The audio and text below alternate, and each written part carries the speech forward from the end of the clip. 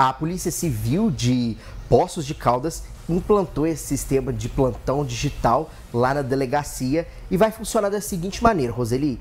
É, ele funcionará a partir das 16 horas às 6 da tarde, aos fins de semana e também nos feriados, Roseli. É, uma equipe da Polícia Civil vai para o local das ocorrências, como acontece normalmente, e uma equipe vai ficar na delegacia o, os escrivão, os escrivães e os delegados vão ficar na delegacia é, para comandar toda ali aquela outra parte.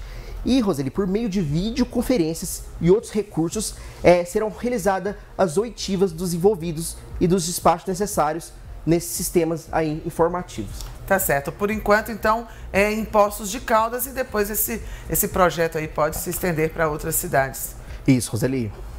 Muito bacana, né? É muito bacana, porque ajuda bastante, né? No, já é, a gente tem que aproveitar aí, né? As facilidades. A, as facilidades que a tecnologia traz para todos nós. É isso aí. João Vitor, e a enfermagem?